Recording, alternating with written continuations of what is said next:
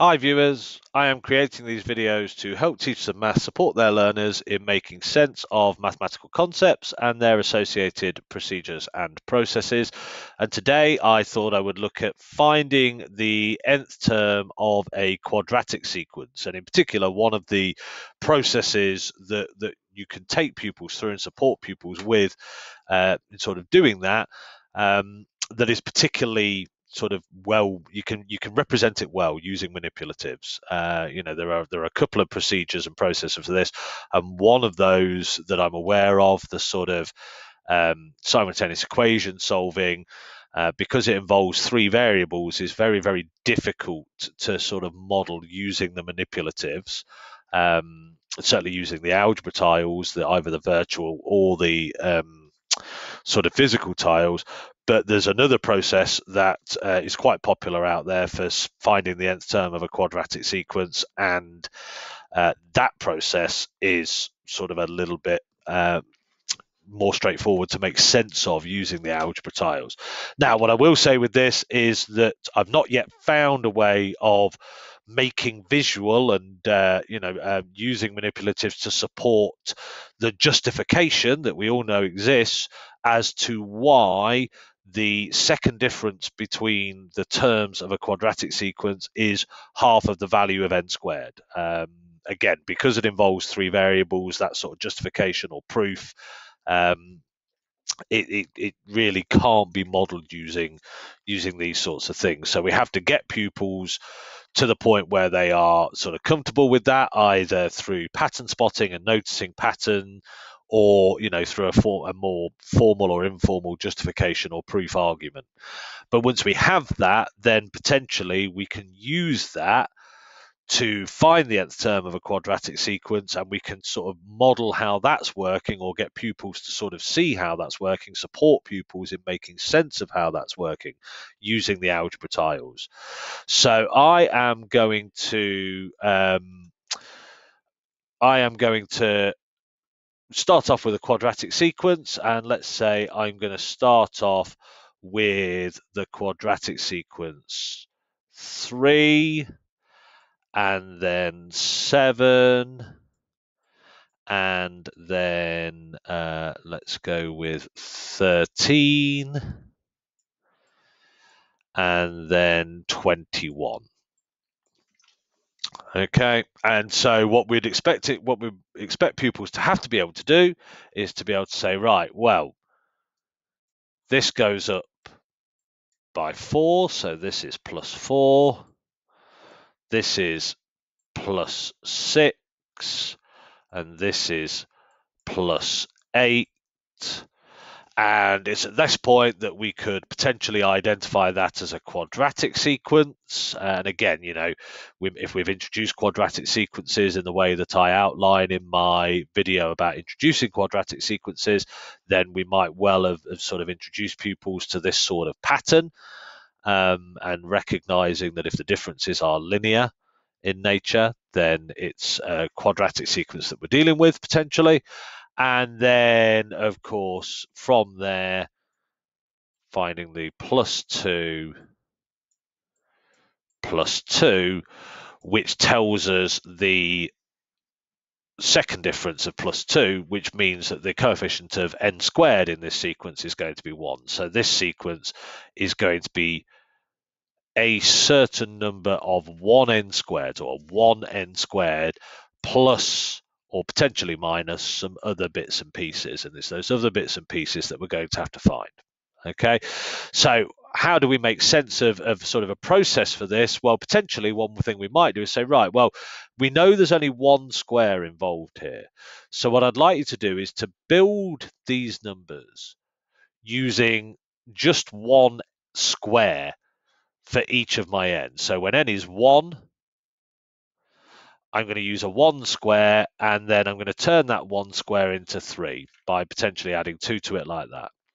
And then when n is 2, I'm going to build a 2 square and then how do I turn that 4 that I have there into 7? Well, potentially I'm going to add another 3. And then I'm going to build my 3 square And then how am I going to turn that 9 into 13? Well, potentially by attaching another 4 underneath. And then I can do the same thing with 21. I'm going to start by building my 4 square because I know there's only one square involved here. And then how do I turn that into 21? Well, potentially by adding a number 5 underneath. And actually, you know, for some pupils at this point, they will be able to see the nth term. They'll be able to see that that's just an n square with an n underneath and a 1 to the side. And if they've been well introduced to quadratic sequences with this, then, you know, potentially that's all we need at this point. Um, but we want kids to be familiar with the process when perhaps this isn't so straightforward. So what I'm going to say is, okay, let's just get rid of those. Okay, what I want you to do now is I want you to remove the square part. I want you to remove the square part and I want you to see what's left. So the square part here was that. The square part here was that. Remove the 3 square from here remove the 4 square from here. And what is left? And what we have left now is 2, 3, 4, 5. And so what we're saying is, right, well, if we start with our sequence 3, 7, 13, 21, which is the nth term we're trying to find, we know it's n squared plus something. So we know it's n squared plus something, but we don't know what that is. And if we're removing, if we're subtracting from each term the single square 1, then 4, then 9, then 16, which we know is n squared, then n squared minus n squared is nothing. And so what we're going to be left with is the extra bit. And so we can see that what we're left with is the extra bit in each case. And in this case, that's two, three, four, five. And because we've removed the n square, the bit that we're left with is linear. It's the bn plus c in effect part.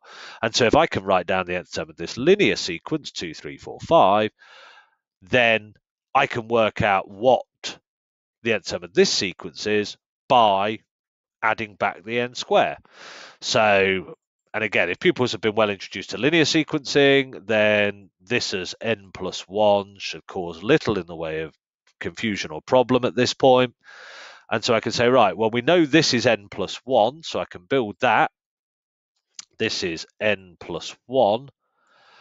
And on top of each of these, I'm going to put back now my square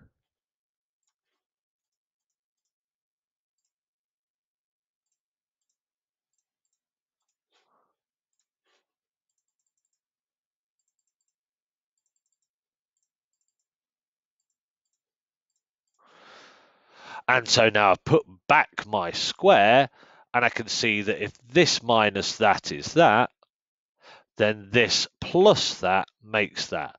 So this must be n squared plus n plus 1.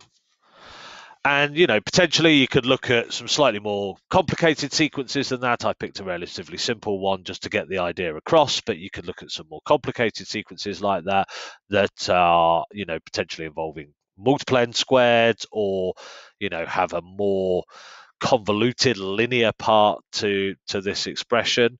Uh, to this quadratic expression.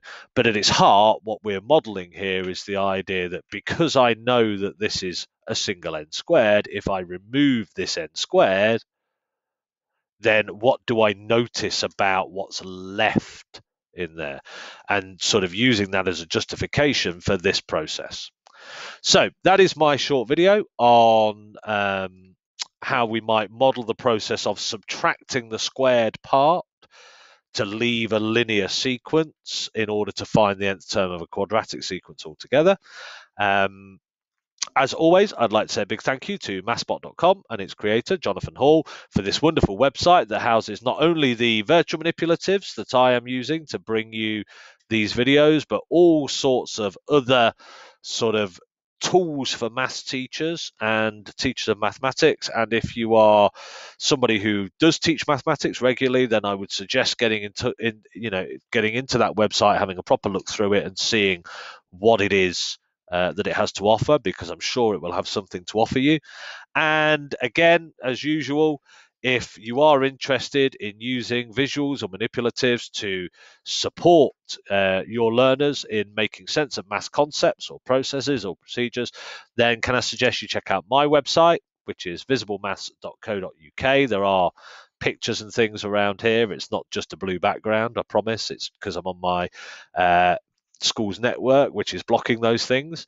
Um, and in the, on my website, there's a section about my book, which is also called Visible Maths, which is why the website is called Visible Maths. And amongst the things you'll find on there, you'll find a link to the publisher's website. The publisher is Crown House Publishing. And on their website, you can have a look at the book, you can have a look inside it and see some of the sample pages. And if you feel like it would be a useful thing, you can, of course, place an order. I have been making these videos throughout lockdown, and I think this is now the third one that I've made since lockdown has finished. So I'm hoping to carry on making them, even though we are all back teaching full time. For well, pupils are all back in full time as far as possible. Um, so if there is a particular concept or process or procedure you feel like you would want modeled using or look at models using manipulatives or visuals, then please do get in touch and hopefully I'll be able to create one for you. Thank you very much for your kind attention today.